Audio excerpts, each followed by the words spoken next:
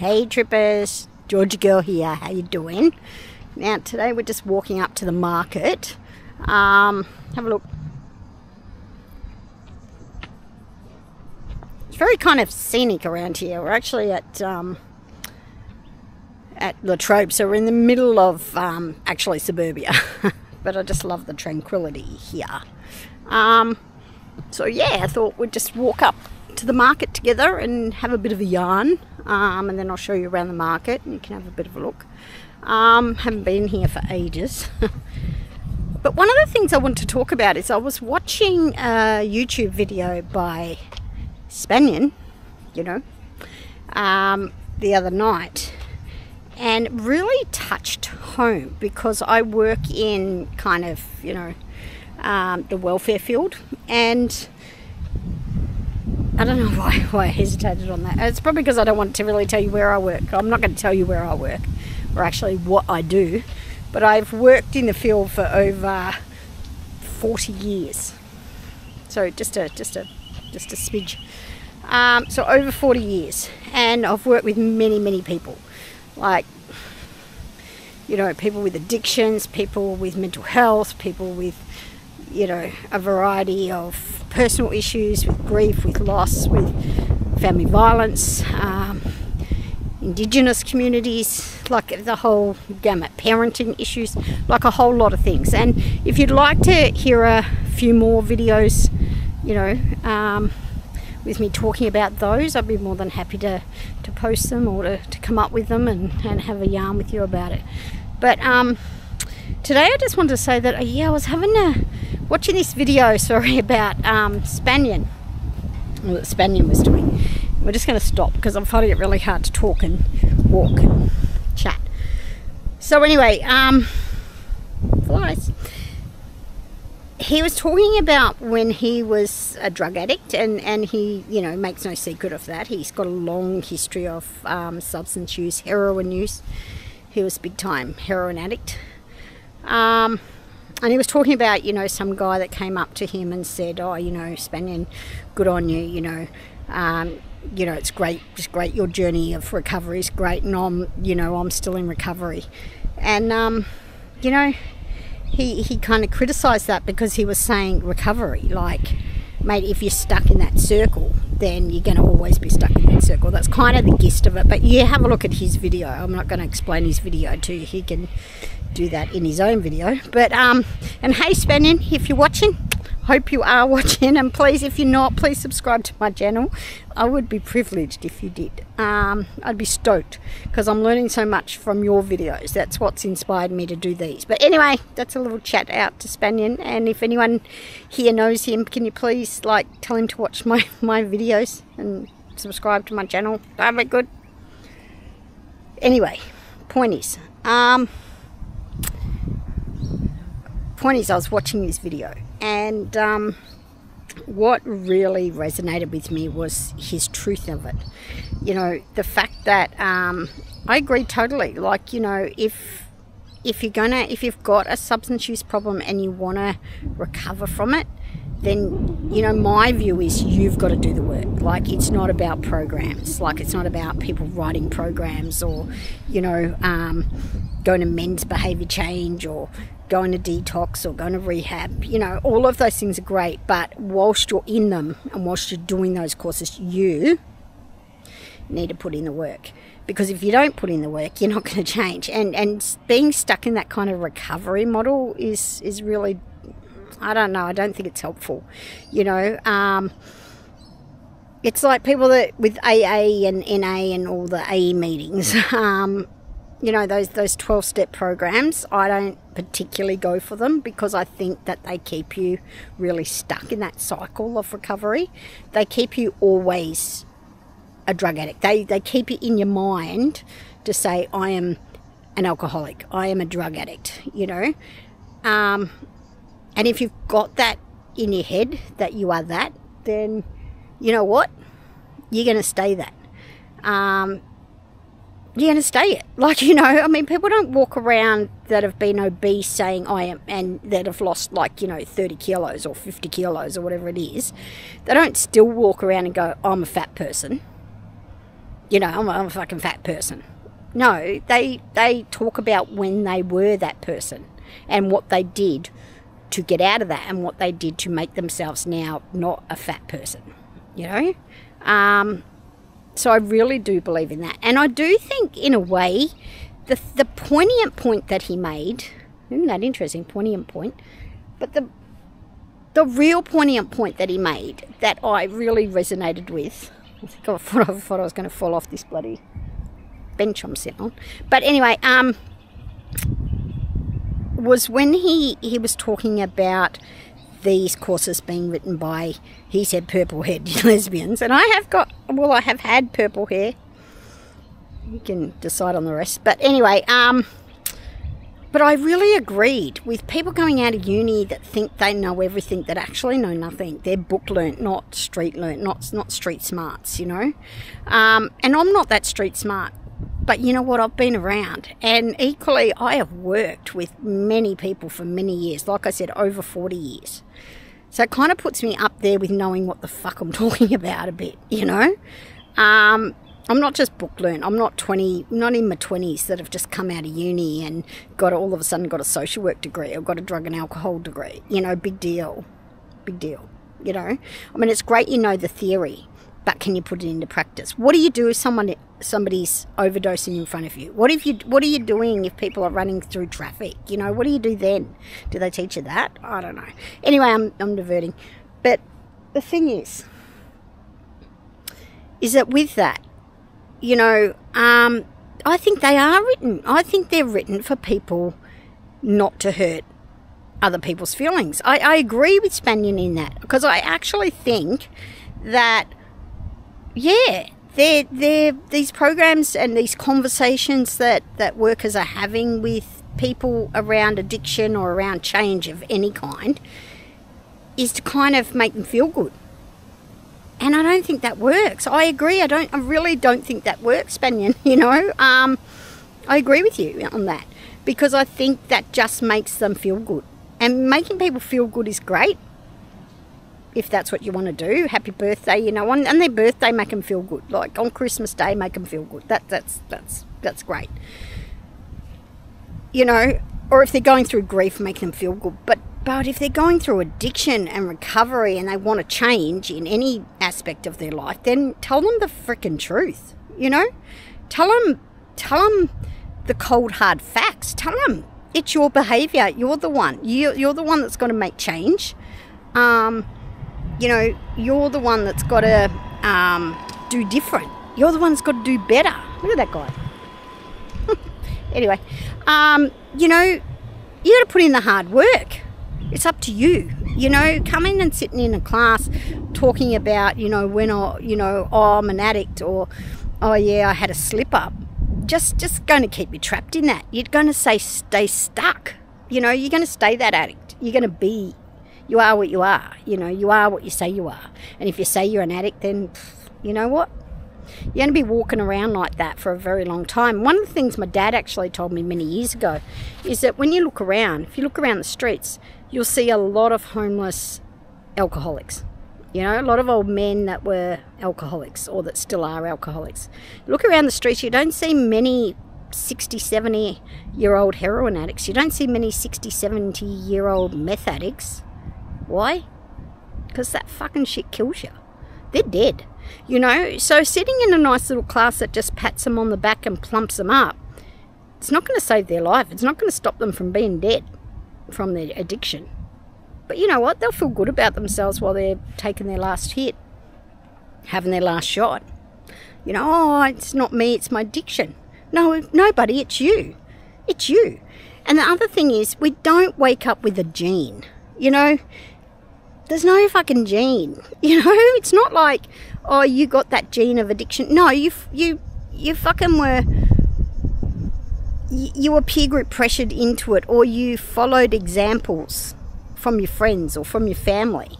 You know, you you had had a relative that's got an addiction or you watched that and you thought it was cool or your mates use and you thought you'd tag along. It's not that you got a fucking gene. Like nobody's different than anybody else. They're just it's just who you've who you've surrounded yourself with. Like if you surround yourself with those people, you'll become those people.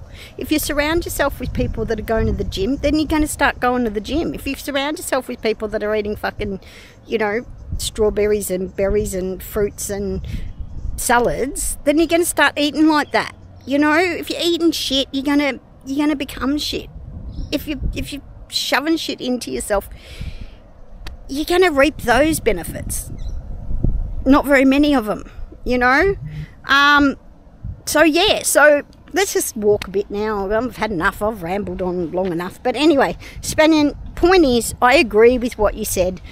Um, I want to start talking a bit more about my opinions because I actually share a lot of the same opinions as you do. Um, or that Spanian does on his thing because I think the thing I like about him and that I kind of aspire in myself and like about myself and have my own values on is honesty and openness and truthfulness. And you're right, you know, a lot of people don't like to hear the truth. And I am well known at work for speaking my mind, and I am well known at work for saying the truth. And that has got me pretty far. You know, it's got me far, not only in my career, but the most important thing it's got far in is other people's lives. You know, it's helped many people's lives. I've helped many people's lives by being fucking truthful to them, by not sugarcoating it, by saying it as it is. And then they might wake up and go, oh, you know what? You were right. You know, I said to this girl once who was so down and out, like she was such an addict, and she she was young, you know, and but she was this far from death. She was gonna she was gonna die if she didn't change her life. Like that was the truth. And I was telling her that, and she was like, yeah. And I said to her one day, you know what, Jane? Let's just call her Jane.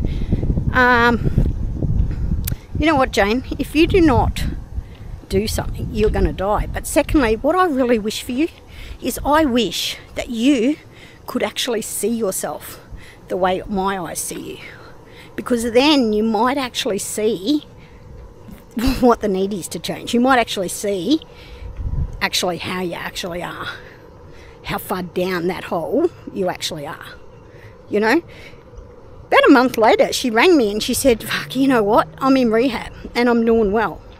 And she said, um, you know, um, I want to thank you. The reason I want to thank you is because I was at a nightclub and I was whacked. Like she said, I was just whacked off my head at a nightclub.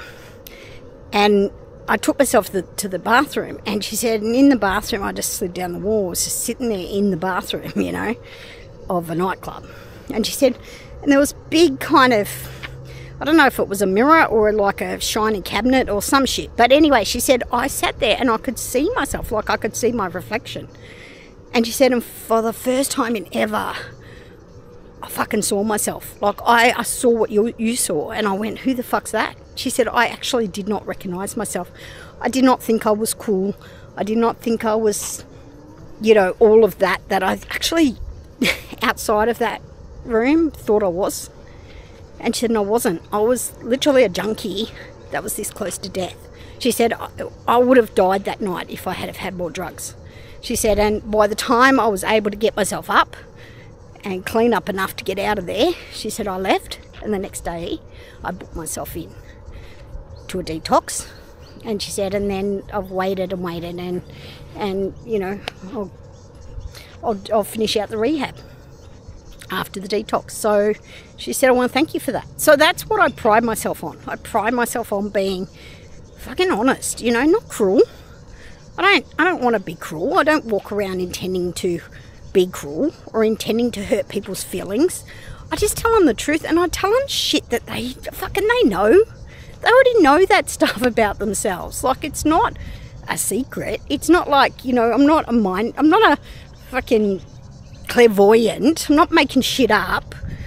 I'm, I'm just pointing out that's the truth about you. That's what's going on with you and for you. And you know what, guys? I'm fucking rambling on, but you know what? I've come to the market and I fucking don't think it's here. All this walking, shit, I'm loud. It says there's a sign, it says pedestrian access to Sunday market. Well, I'm fucking walking and I'm not seeing too many other fuckers walking around here and I ain't seen too many cars. I don't know. Is the market on? Am I just. Anyway, it's a nice night. It's a nice night. It's a nice day for a walk um, and a talk and a chat. So, yeah, I've.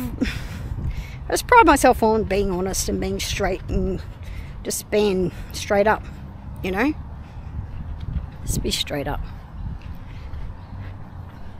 Because, you know, the other thing is, I, I also pride myself on being freaking punctual and being uh, reliable.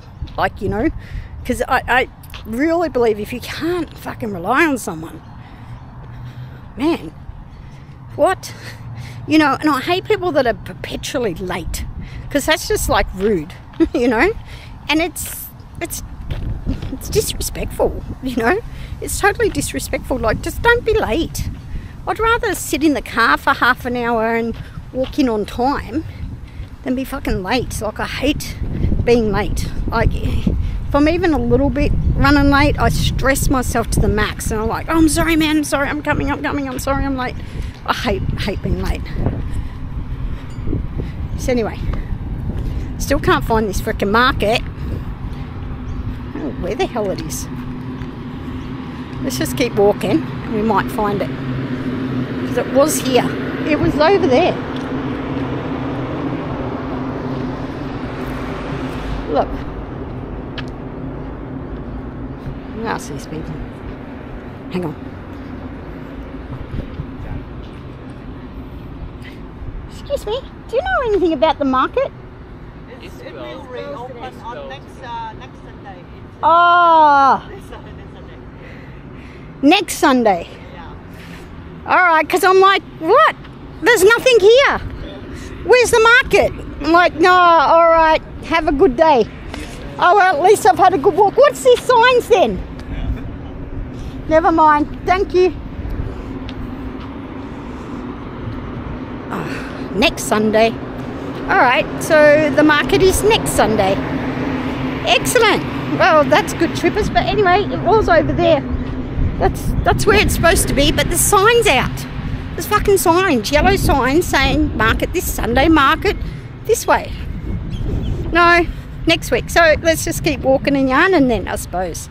Because we ain't getting nothing at the market. There's people walking up here. I hope they're not thinking they're going to the market because it ain't on. Oh, I'm going to tell them. Because, you know, like I said, straight up and all that. But yeah, so that's what I that's what I actually think is just being upfront, honest, saying it as it is, and um, yeah, just just letting people know that you're there, and don't back out from them. Now I'm just going to get a bit quiet, so hang on a second.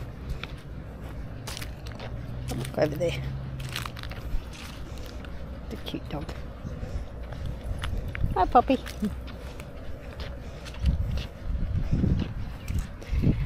All those people think the market's on. I think they think the market's on. Look.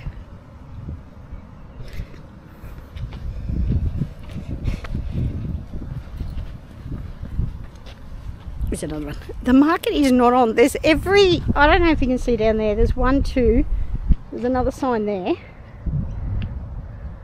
Like the signs all the way along this road saying pedestrian access to the Sunday market. Frickin' Sunday market. Frickin' Sunday market. I was really, I got up early, um, got myself organised, and here I am. Anyway, let's make the most of the beautiful day that it is. And it is. It's absolutely, absolutely gorgeous day today. So, yeah, there you go.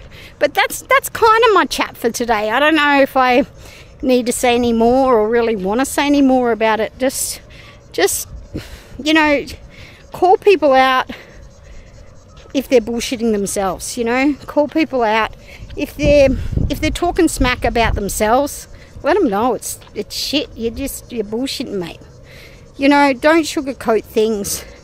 Don't not hurt their feelings. And and sorry, just another thing that Spanian was saying was that, you know, a lot of these programs are written to make the person, you know, feel good about themselves and not make them feel bad, like I said. But what he was saying is he believes that they're done like that, they're written like that because, you know, workers, of course, if, you know, they have somebody that leaves their their session or that they're working with that goes and you know maybe can't take it anymore and does something to themselves um, then they're going to be held accountable and to some exp- some extent yes they will be held accountable yes they will have to go to maybe the coroner's court or or another court or something to explain um, their involvement with that person and their contact with that person but you know what? They're not to blame for that person's actions. And I totally believe Spanian in that. They they are not to blame for another person's actions. Like all you can do as a worker is your best. And that's it, you know. As long as you don't go and, you know, tell them to do that or whatever, you're not to blame. You know, you can't save everybody, you can't save the world. And if somebody is going to do that, then they're going to do that. Like, you know, um, you're not going to be able to stop them. And and maybe that was the you know, maybe maybe if they can't handle that truth, maybe that was something I mean it's not something that they just thought of. They they were already contemplating it and they were already going down that down that rabbit hole you know you, you weren't pushing them into the rabbit hole so anyway just just um just take that kind of pressure off yourself uh, if that's something that you you struggle with in working with clients because um, yeah like I said you can't you can't make somebody do anything you know and even when we want to create change with our clients we can't make them do it. That's the whole point. That's the whole point. All we can do is point out things and hopefully that the penny drops, like with that girl that I was talking about, and the penny dropped with her finally. You know, and thankfully not too late. So, g'day. So yeah, um, sorry. Yeah, so just just keep that in mind and um, have a good day. See you, trippers. Subscribe. Hey, trippers, Gigi here again. Now, I just wanted to pop back on and show you. I don't know if you can see all those people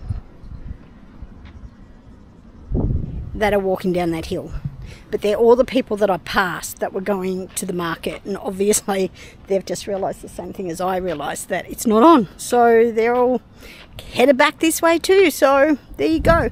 But what I did forget to say is, if um, you like, and if you thought this this video was maybe of interest or I don't know, maybe you disagreed with it, maybe you think it's just full of crap. I don't know, but um please can you like and subscribe, press the bell, do all that, you know, whatever you got to do, got to do it.